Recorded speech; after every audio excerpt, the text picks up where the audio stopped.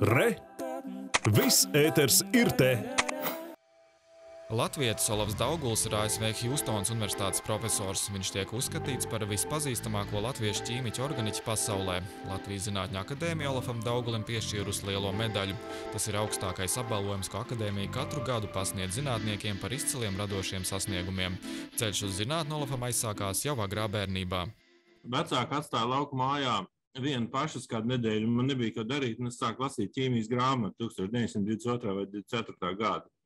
Nu, tā ka nebija darīt neko, vai ne?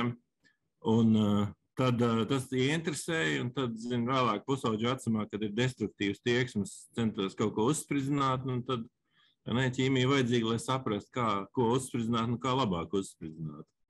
Un, protams, šitajā laikā, tagadējā laikā noteikti aizvest visus uz cietumu par spridzināšanu. Tā kā, nezinu, varbūt interesi par zinātni ir mazāk tādēļ. Jau mācoties skolā, Olas brīvos brīžos devās uz Rīgas Tehnisko universitāti. Mums bija tāds pulciņš skolēnu fakultātē, un tad viņš uzrādījās ļoti nopietni, tāds knauķis. un paziņoja, ka viņš grib to vielu pārdestilēt vakumā.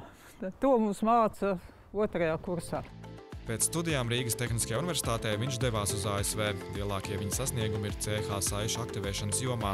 Pēc saviem atklājumiem Olafs deguna gaisā nav pacēlis. Tie, kur viņu pazīst, stāsta, ka kopš studiju laikiem viņš nav mainījies. Lepoties, nelepoties, bet kaut kas ir izdevies.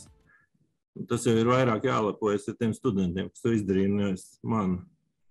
Es galvenokārt smērēju papīru vai arī kompjuteru ekrānu. Viņš atklāja teiksim, kā, jaunas reakcijas un parādīja veidu, kā šīs reakcijas efektīvāk var realizēt.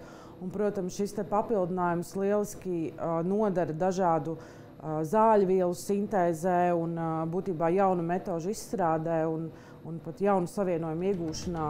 Tieši Olafa dēļ uz Houstonas universitāti apgūt zināšanas nerad dodas arī Latvijas jaunie zinātnieki.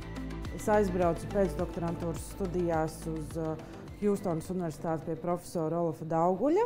Un, uh, viņa grupā strādāja divi ar pus gadus. Cilvēciskā līmenī viņš uh, ir ārkārtīgi foršs profesors ar uh, ļoti labu humoru izjūtu un ļoti labu raksturu. Zinātnieku vidū Olafs ir pazīstams kā ļoti mērķtiecīgs pētnieks, kurš noteikti ir savā vietā. Ne tikai Amerikas, bet pasaules mēroga jau liels zinātnieks, pazīstams pasaulē ļoti daudz publikāciju, ļoti daudz citāts. Brauka apkārt pa pasauli, lasīdams lekcijas. Nu, man patīk tas, ka pirmkārt man īpaši nav priekšnieka, vai ne? Es varu darīt, ko es gribu. Laboratorijā domāt par visu, ko es gribu. Uh, otrais ir, kad patīk izdomāt kaut kādu jaunu lietu, un tad, tad laboratorijā redzēt, vai viņi tiešām strādā. Teiksim, kaut kāds tas radošs, um, radošs process ir. Dzīvot un strādāt aiz okeāna Olafs izvēlējies, jo šajā valstī ir gana liels iespējas nodarboties ar ķīmiju, kurai nav tieša praktiska pielietojuma uzreiz. Lūdzu, Birziņš, Oto Ailts, Latvijas.